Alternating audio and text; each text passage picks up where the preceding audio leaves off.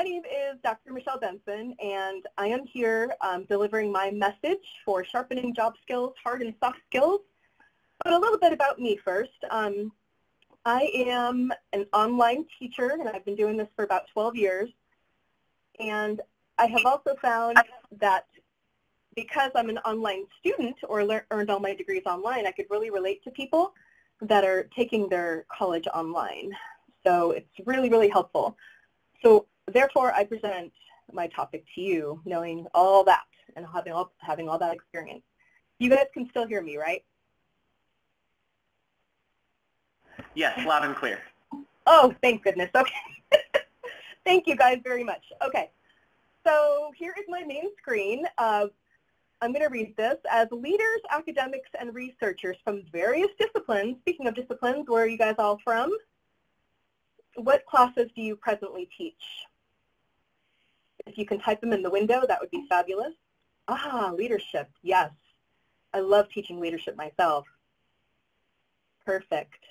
It looks like Clark is typing. Not a teacher, but an assistant. Oh, hey, Clark. Awesome. Perfect. Global leadership. Perfect. Wow. How exciting. ethics. Oh, wow. I love ethics. That's a really good course. Operations, project management. Oh, I have experience with that. I love project management. How to think for yourself. Excellent. Perfect. Okay, information security. Very, very cool. Thank you guys for typing. Okay, so we are all from a large variety of disciplines with a focus on student-centered learning, which this whole presentation is all about student-centered learning. So with society, with innovation, globalization, and technology, which are transforming online learning, um, hard and soft skills can no longer be viewed as non-essential. Rather than they are imperative for a well-rounded and intentional online education. And I can tell you from experience that they are needed, hard and soft skills. All right, let's move on. So what we're going to do here is have a little bit of fun. So I created a poll for you to answer. Um, the question is, which superpower would you like to have? Okay. So I hope you can see the screen. Mind reading is number one. And please answer your choice. you already have a superpower, huh? Nice. that is very, very good. What's your superpower, Dr. Price? Ah, number three, very cool. Very cool. So we have two people that answered, 14 with no response. Okay. Number five, aha. Already have a superpower. Excellent. I joined the ranks on that one too. I'll take that one also. Number four, okay.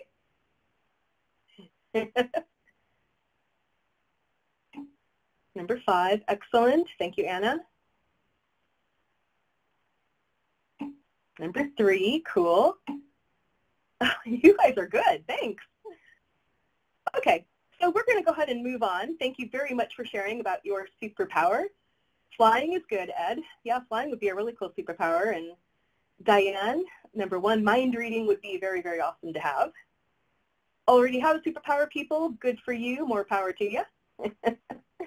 I'd like to choose number five, too, if I were to choose, but yay for us. Okay. So going back to the theme of our um, conference, what the theme was this year was to increase student engagement to improve learning. And we're exploring ways through these great um, video recordings that we're all viewing from when we first started about how to capture students' attention and maximize participation in their learning process. How do we reach students and how can we motivate them and interest them in their education. So what I'm about to present to you is what I've learned through the years and what I've found is the most important way to do it.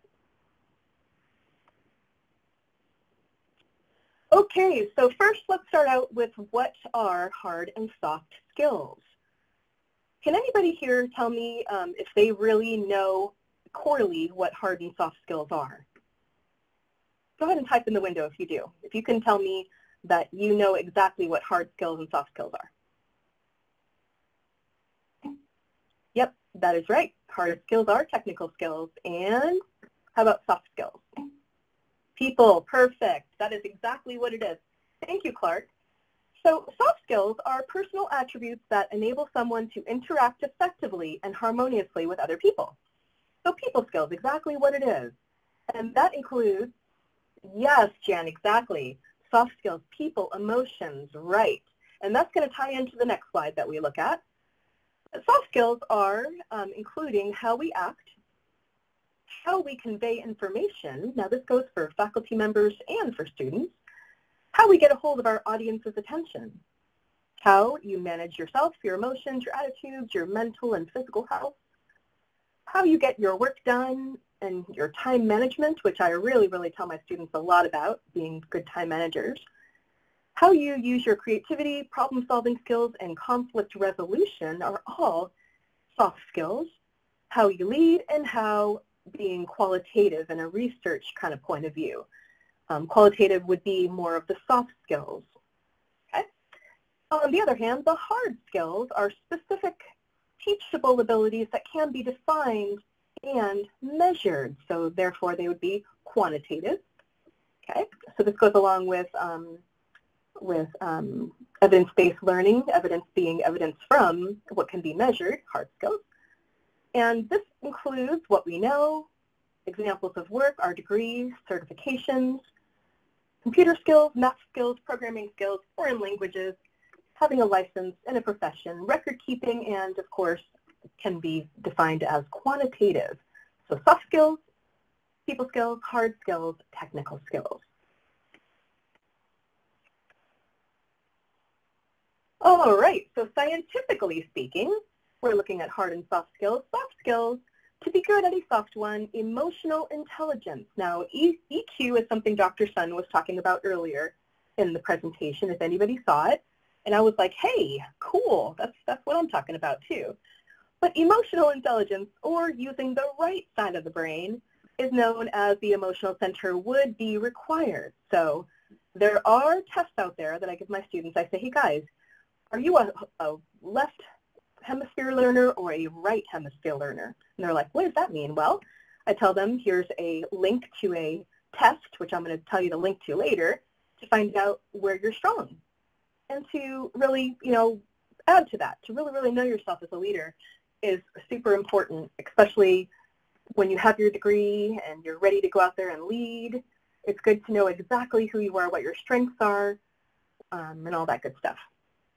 So soft skills, the rules of change in soft skills, such as communication skills, self-management will depend on the company culture or the people you work with.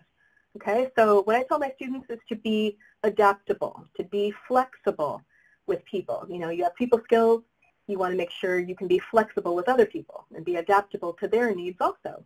So those are two of Dr. Benson's key words that I use almost in every class that I teach, flexibility, adaptability. Most soft skills are not learned well, but in school, but are generally learned by trial and error, books and guides. Okay, so with that, um, I tell my students, you know, try this book, try Strengths Quest. I show them on the screen when I'm teaching, you know, go get this book at Barnes & Noble. It's really, really helpful and you'll find out your top five skills that you can take with you after school or in your job right now. And um, soft skill tests to assess are um, commonly the Mayer Salovey Caruso test and the Daniel Goleman model score. Those um, are fun to look up, so I tell my students or I instruct my students to do a Google search, check those out, look at what they look like, and, and see if you're interested in taking one of those or talking about it with someone else. Hard skills, on the other hand, um, to be good at a hard skill, um, the intelligence quotient, or IQ, is more in play here. And that is the left side of the brain, known as the logical center of the brain. So hard skills, technical skills, that's what we're um, going for. Your IQ, I guess, if you want to put it that way. Um, the rules remain the same in hard skills, except programming is a hard skill, and the technical skills remain the same. Okay? Hard skills can be learned in school and in books, and hard skills can also be mastered. Okay, sometimes it takes a lifetime to master soft skills, but when you compare it, hard skills can be mastered and learned in school. But the point is here is how are our students going to um, pull off hard skills without having really strong soft skills? Knowing themselves, knowing how they learn, what kind of learner they are. Are they kinesthetic? Are they um, visual? Are they auditory?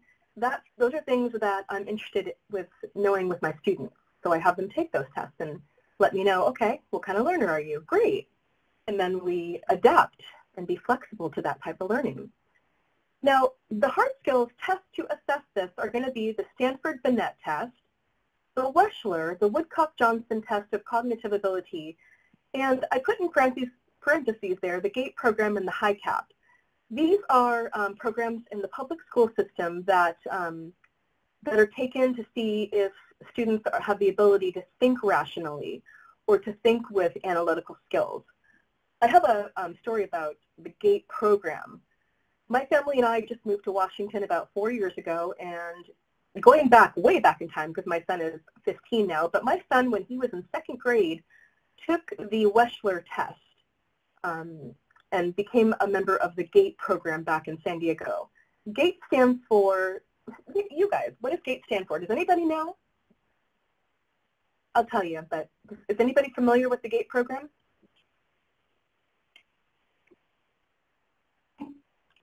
okay, no worries. The GATE program is gifted and talented. Yes, exactly. Thank you. Thank you, Brian. Gifted and talented education. Hey, there you go. That's wonderful. So I, you know, I've always wondered why they give it in the second grade, but but they do. Yeah, it's a California thing. Here in Washington, they do the high cap program, but they don't base it on the test, I don't think. Um, but I found that kind of interesting and um, figured I'd relate that for you to hard skills be it the way that people, not, not just the smartness of them, but be it the way they think in an analytical or rational way. People with high IQs are not, by all means, smarter, smarter than anybody else. It just means that they have a different way of thinking, and that has to be clear. And I always have to explain that when I'm explaining things like that, that your IQ doesn't even matter. As a number, it's just a number because it's all about the rational and the analytical way of thinking, which relates to hard skills. Now, at the bottom of the screen, I put 16personalities.com, and I've always had great luck with that. In fact, um, recently I wrote a course for another college as a um, curriculum designer, and I made 16personalities.com an assignment for my students. And um, with that, they were told to write a three to five page paper on their personalities and how they're going to direct those types of strengths they have to life after college or in their work. So I found that really interesting to add that as something that's actually being taught right now. okay, emotional intelligence. Now we're going to look at each one of these individually. EI and soft skills. Okay? So a statement I hear from managers is that they can that they can teach their employees technical skills, but they cannot tell them to have a good attitude or teach them, pardon me, to have a good attitude. This is a negative statement and will lead to failure. So that right there says that there's really no people skills in that statement um, to me, and that's why I kind of had to analyze it and wonder what they were thinking by saying something like that. This is from a lack of understanding of the core competencies of social of uh, soft skills. Soft skills can be assessed and taught, and emotional intelligence is a strong predictor of that success. So we're going to get to how and why coming up on the further slides, but don't worry too much about the technical skills because your students um, are enrolled in college and they're they have their classes, they're learning their technical skills and their hard skills, but but my whole thing is to focus on more of their soft skills because why are you going through college? You're going through college to um, graduate and get a job as an executive or a leader, right? Well, those type of positions need a good balance between soft and hard skills to really make it in one of those roles I have found. You will need to teach them how to show up on time, how to work in teams, and how to take supervision. Okay, so that's some of the things which I'll cover more on the next slide. Now the other side, the hard skills, the IQ. So the IQ doesn't stand for how smart someone else is, but stands for how they can logically rationalize and think in an abstract or analytical way. Okay, so that's exactly what it is right there. Here is a free IQ test on the screen that I found um, was pretty helpful, and I researched this too. I researched some of the best IQ tests out there, and this was the best one I found personally. So you can take a note of that, or, um, oh my gosh, five-minute warning, holy moly. And the free right and left side of the brain test is also there too. Okay, here are some questions to ask the to identify a person's um, soft skills and their job readiness. So I put these up here, and they are from HR. And what I have found to be important in these questions is um, they are behavioral questions that you somehow or sometimes are asked in an interview, right? So I take these type of questions as an, as an instructor and I put them into a response to a discussion question and, and make them really tell me what they're all about, what they would do in a situation. Okay, so I need to hurry up a little bit. I want to cover a lot more. okay, so according to research, uh, what soft skills are essential for our students? Now, um, I have two references here, one and two. In the contribution of an undergraduate's work readiness, the following skills are vital to successful employment, and those would be attitude, personality, communications, problem solving, critical thinking, and the ability to work well with others. And that is from research from 2016. And I always tell my students too, to when you're writing a paper, please use references within the last five years. So they're very trustworthy and all that goes. Having a positive attitude, respecting others, and being trustworthy, honest, and ethical are the most sought after skills that a candidate could have in careers in management, administration, and leadership. Okay? So there is that. Um, here are the hard skills that are essential for students in work readiness and in college. Strong analytical skills, okay, that are not only a strength in interview questions, but are learned in the content of our student assignments.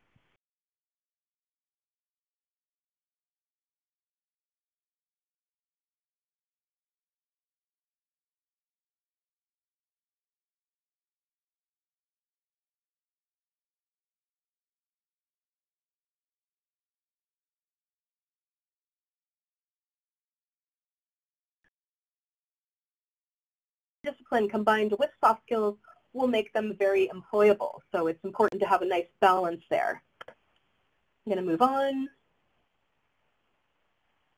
Okay, let's take a, okay.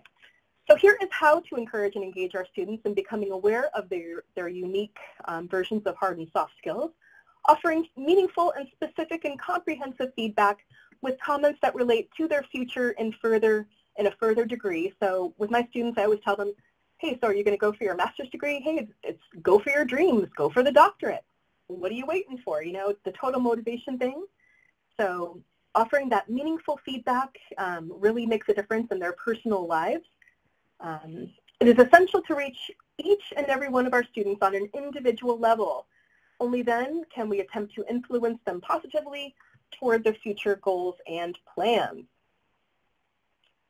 Here's a little bit more on how identification of their hard and soft skills through online free surveys, which um, I have found through research to be very helpful. And I offer those in each one of my classes for their um, personal and professional development. Okay, so here is why. Um, why encourage our students to um, become aware of, of their unique versions of their hard and soft skills Work readiness and life after college. So why? Work readiness um, was actually the topic of my dissertation way back, but work readiness is the basis of individual success and motivation at a strategic level, and this is the basis of leadership and emotional intelligence, be it soft skills. Let's jump over to uh, life after college, encouragement to use leadership behaviors in events such as attending job fairs, volunteering, and community partnerships can also be done not only in college, but after also for networking and all that kind of good stuff. And that's a continuance of growth in their soft skills. Okay, so this slide might be a little bit hard to see. It's kind of small for me too, but why to encourage our students, um, because our online students can work without supervision, and that's something I've used through the years to get work myself because I can work without supervision. Being an online student myself, I found it very, very helpful to let my students know that that is a huge thing they're looking for out there um, in positions of leadership and, um, you know, HR is looking for people that can, or, um, you know, positions are looking for people that can work without being supervised. So being an online student really adds